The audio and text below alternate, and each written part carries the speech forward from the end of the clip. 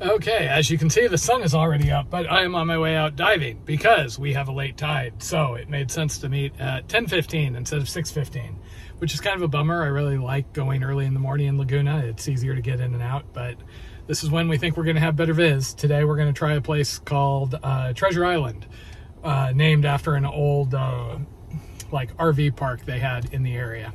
So today I'm diving with Jack and we are diving today because uh, the weather's gonna turn on us. It looks like tomorrow there is a storm that's gonna hit Southern California and bring some rain. Whenever it rains in Southern California, uh, basically we can't dive for a couple of days. It washes all this sewage and stuff down into the water. And so the bacteria levels go up and there's a web page we check to see if it's safe to go into the water. Yeah, great place to live, isn't it? So I am anticipating that the combination of the rain and just the uh, waves that are hitting along with the storm are going to make diving either a no-go or drop the visibility way down. So this is our uh, last chance before things get more interesting again.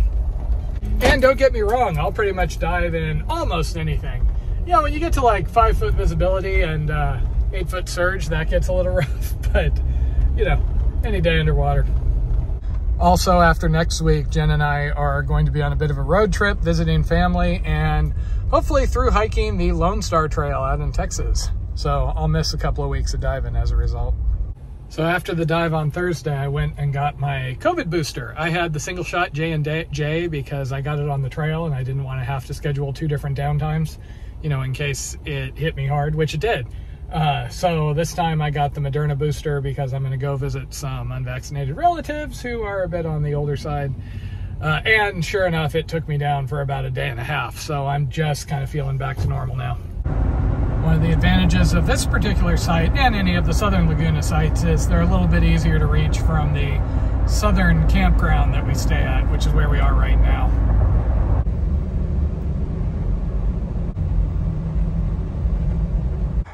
Unfortunately, this spot does cost extra to park. So that's basically where we're gonna be going. You see that ramp leading down to the beach, and then we're gonna go out and play around in there, see what there is to see. We dove this before uh, last year. Keep going, keep going. I'll get you walking majestically off towards the dive site.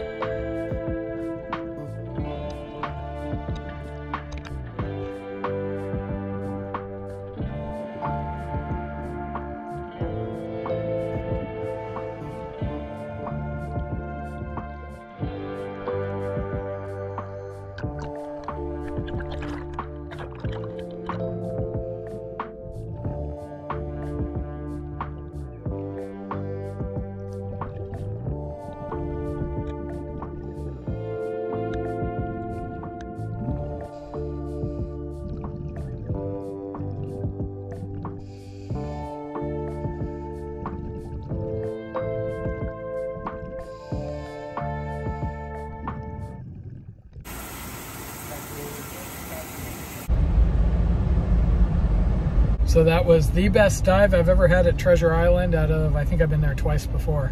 And one of the better dives I've ever done in Laguna. 35 foot viz. Really can't complain about that. It's just really a shame that there's now a storm arriving tomorrow to wreck all of this. We'll see how that goes.